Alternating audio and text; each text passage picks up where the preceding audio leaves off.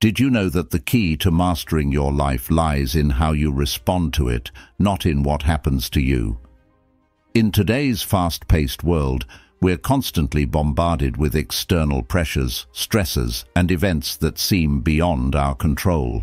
It's easy to feel overwhelmed, frustrated, and powerless. But what if I told you that the secret to overcoming these challenges isn't in changing the world around you, but in changing how you interact with it. If you want to take full control of your mental and emotional well-being, you need to do this one simple thing. Start by focusing on what you can control and let go of what you can't. This isn't just about thinking positive or brushing off your struggles. It's about implementing practical techniques that have been used for centuries to cultivate resilience, wisdom, and peace of mind. The best part, these techniques are rooted in ancient Stoic philosophy, which has stood the test of time for a reason. They've helped countless individuals, from ancient rulers to modern-day leaders, navigate life's toughest moments with calm and clarity. Avoid this mistake thinking that your happiness and peace depend on external events.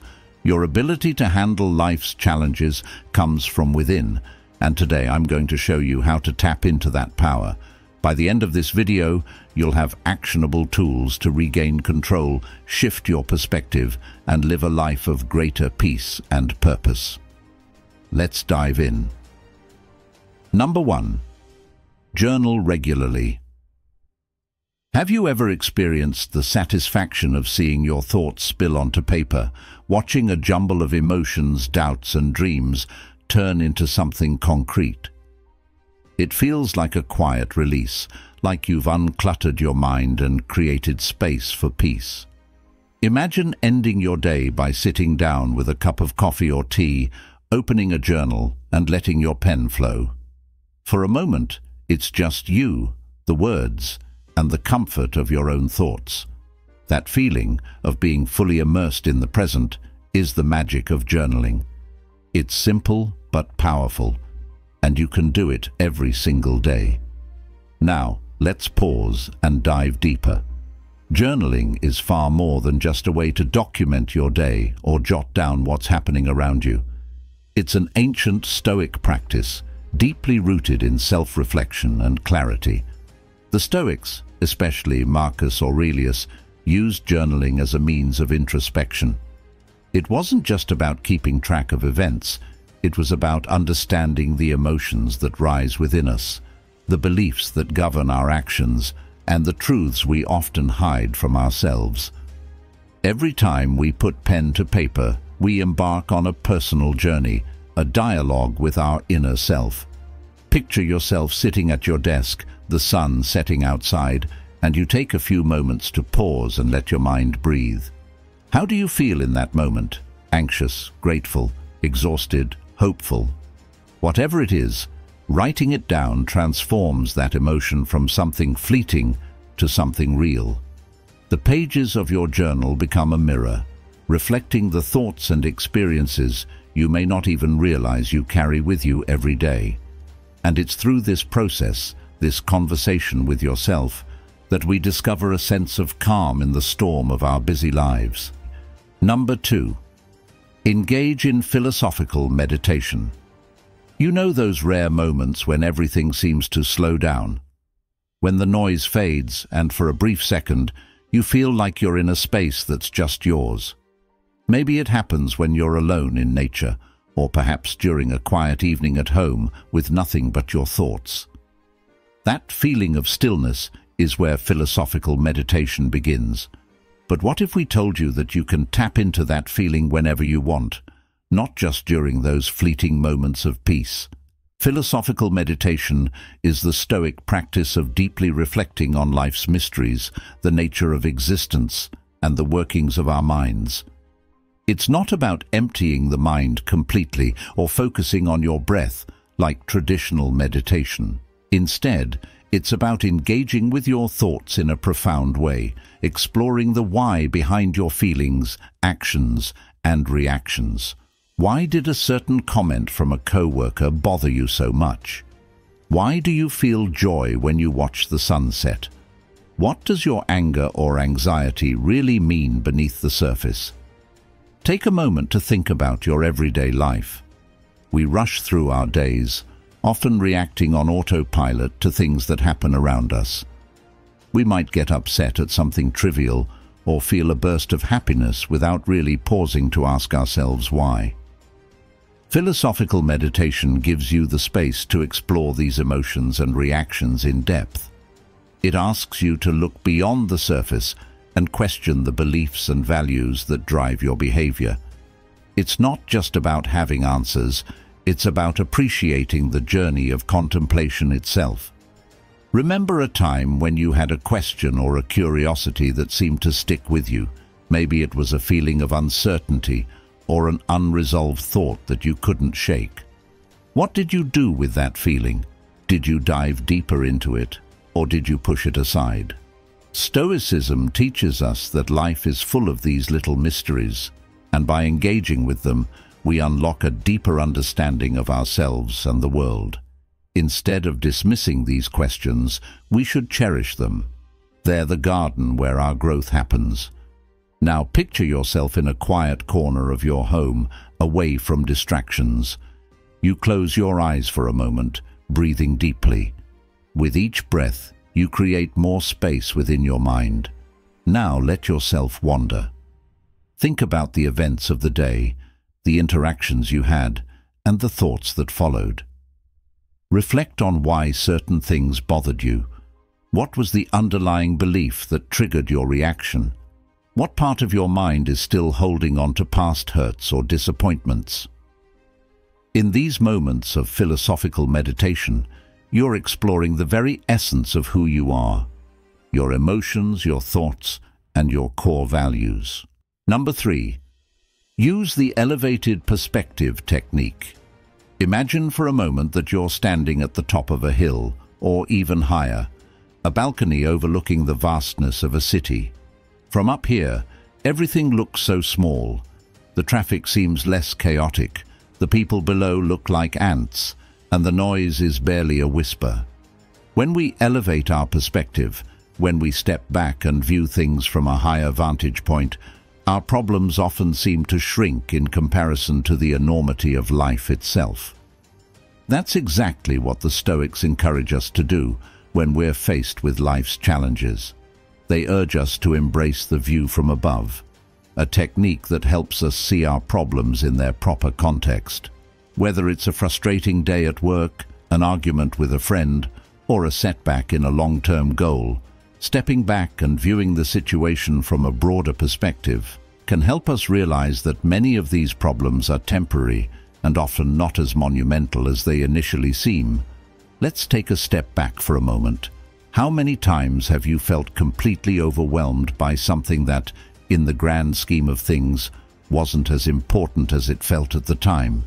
Maybe you got stuck in traffic, had a falling out with a loved one, or missed out on an opportunity you really wanted. In those moments, it can feel like the world is crashing down around you. But if you were able to take a step back, breathe deeply and gain some distance, wouldn't you see things differently? Think about it when you zoom out. The traffic jam becomes just a few minutes of your day, the argument a fleeting moment in your relationship, and the missed opportunity a single chapter in the bigger story of your life. The Stoics believed that by adopting this elevated perspective, we gain a sense of serenity and inner peace. The problems we face might feel overwhelming in the moment, but they are temporary waves in the ocean of our existence. Like waves, they rise, crash, and then merge back into the water, only to be replaced by new ones. Number four, examine yourself daily. Life often feels like a whirlwind. From the second we wake up, we're hit with a barrage of tasks, obligations and distractions. We rush through our days without pausing to reflect on our actions, decisions or emotions. But what if you took a moment each day to slow down, breathe and examine yourself? When was the last time you truly checked in with yourself? No, not in a surface-level way, like asking how your day was or whether you accomplished your to-do list, but truly asking yourself how you feel, what you've learned, and why you reacted the way you did. This process of self-examination is not only a powerful Stoic tool, it's an essential practice for anyone seeking personal growth and deeper self-awareness. Imagine waking up every morning with a sense of intention. Before you dive into your daily tasks, you sit down in silence for a few minutes and reflect on what you hope to achieve, both externally and internally. You ask yourself questions like, what am I grateful for today? What can I learn from yesterday's mistakes? How can I grow from today's challenges? This intentional pause shifts your mindset from one of autopilot to one of active engagement with your life. Examination is about uncovering the layers that make up who you are. It's about understanding why you think, feel, and act the way you do. We all have habits, beliefs, and patterns that shape our day-to-day -day lives, but most of us rarely take the time to question where these behaviors stem from or whether they serve us. This is where the power of daily self-examination comes in. By consistently examining yourself, you become aware of these patterns and can begin to identify which ones help you grow and which ones hold you back. Think back to a situation where you reacted in a way that surprised you. Maybe you got angry over something trivial or felt inexplicably anxious about a simple task. Number 5. Practice the pause and reflect technique. In the fast-paced world we live in, everything demands our attention right now. Social media, work deadlines, personal commitments, all of these pull at us constantly. We're conditioned to react quickly to the world around us, often without considering the consequences. But what if you could create space between stimulus and response? What if, instead of reacting impulsively, you could take a pause, reflect, and then choose how to respond consciously? This is the essence of the pause and reflect technique, a simple yet profound practice that helps you cultivate mindfulness and emotional intelligence. It's a practice that encourages you to stop before you act, to take a moment to breathe, center yourself and reflect on your thoughts, feelings and intentions. By taking this moment of pause, you break free from the automatic responses that govern so much of our daily lives, and you create room for intentional, thoughtful action. Think about the last time you got upset with someone, a colleague, a friend, or even a family member. How often do you immediately respond with anger or frustration without stopping to consider the bigger picture? What if, instead of reacting in the heat of the moment, you took a deep breath, paused for a few seconds, and reflected on your response? In those moments, you might realize that your initial reaction wasn't driven by logic or compassion, but by past experiences, assumptions, or emotional triggers. The pause and reflect technique helps you see this, creating a moment of awareness before your emotions take control. The beauty of this practice is that it's applicable to all aspects of life. Whether you're dealing with a stressful work situation, navigating a tough conversation, or simply feeling overwhelmed by the demands of daily life, the pause allows you to reset your mental state and choose a more mindful, deliberate response. It doesn't mean you'll always have the perfect answer, but it gives you the opportunity to act with more clarity and less emotional charge. Imagine you're in a meeting and someone challenges your idea. Your initial impulse might be to defend your position aggressively, to protect your pride. But if you've practiced the pause and reflect technique, you'll have the ability to take a step back. Instead of reacting defensively, you'll pause, breathe, and reflect on the situation. What's the best way to respond? Can you see the other person's perspective? Is there a better way to frame your idea, one that invites collaboration rather than conflict? Over time, this practice becomes second nature. You'll notice that you're less reactive and more thoughtful in your interactions. You'll develop a greater sense of emotional control and be able to navigate life's challenges with a calm, measured approach. The pause and reflect technique doesn't just help you in difficult moments, it improves your overall mental and emotional well-being by fostering mindfulness and presence. In the Stoic tradition, reflection is a tool for cultivating virtue. Marcus Aurelius often wrote about the importance of pausing to reflect on his own actions, reminding himself to stay true to his values and to act with wisdom and compassion. By taking a step back before acting, we too can make decisions that align with our higher principles rather than being swept away by immediate emotions or external pressures. Number six, represent events objectively. Life throws countless challenges our way. It's easy to get swept up in the emotional turbulence of these events, letting our feelings dictate how we experience the world. But what if you could detach from your emotions for a moment and view events as they truly are, not colored by your immediate reactions? Representing events objectively is a crucial Stoic practice that helps us detach from the emotional weight of external circumstances. It allows us to see things as they really are, rather than through the lens of our personal biases, fears, or desires. When we respond emotionally to a situation, we often distort our perception of reality. We blow things out of proportion, over-dramatize, or catastrophize. The Stoics teach us to step back and view events with clarity as neutral occurrences that we have the power to choose how to respond to. Take a moment and think about a recent stressful situation. Maybe it was an argument with a friend, a difficult work deadline, or a family conflict. How did you initially perceive it? Chances are your emotions colored the way you viewed the situation, anger, frustration, fear, or anxiety. Now, try to view the event objectively. What actually happened? What were the facts without any emotional embellishment? For example, if you received a harsh critique at work, your initial reaction might be one of hurt or anger.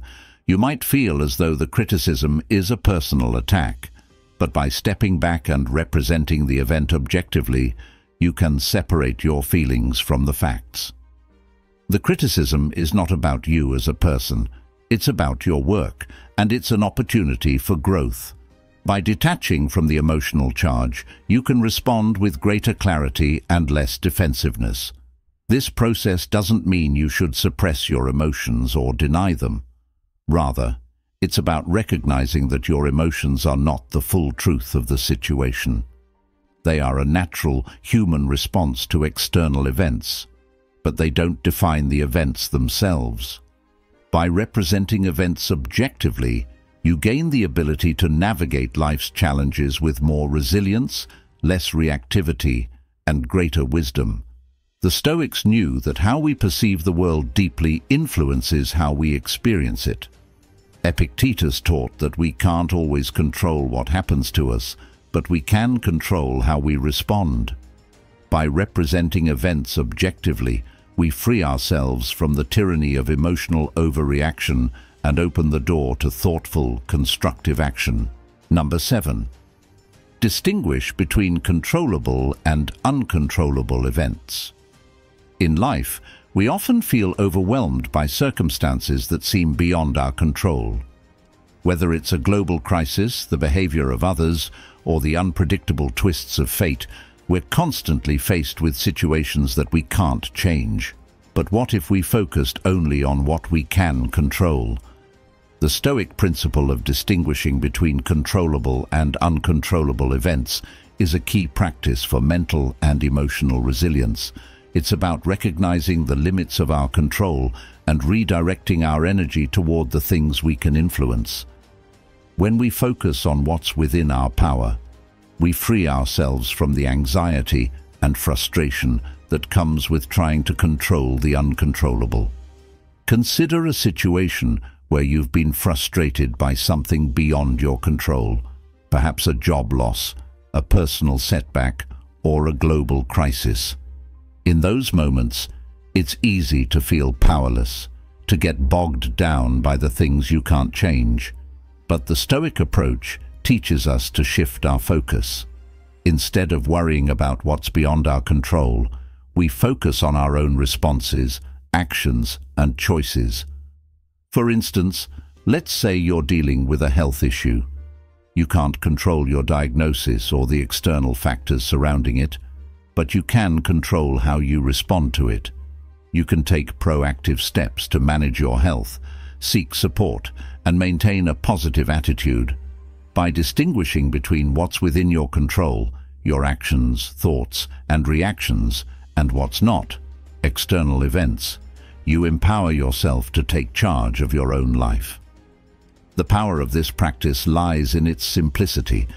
By focusing only on what you can control, you reduce feelings of helplessness and frustration. You stop wasting energy on things that are out of your hands and instead channel your efforts toward what you can influence.